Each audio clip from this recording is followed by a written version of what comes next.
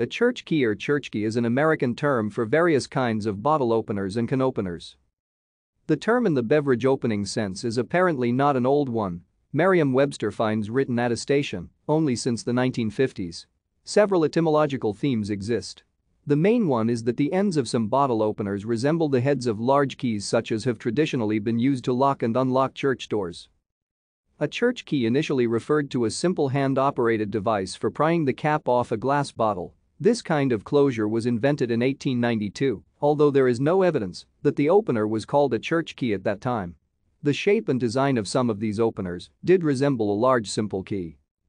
In 1935, beer cans with flat tops were marketed and a device to puncture the lids was needed. The same term, church key, came to be used for this new invention, made from a single piece of pressed metal with a pointed end used for piercing cans, devised by D.F. Sampson for the American Can Company, which depicted operating instructions on the cans and typically gave away free quick and easy openers with their beer cans. Thank you for watching. Like and subscribe if you would like to view more of our videos. Have a nice day.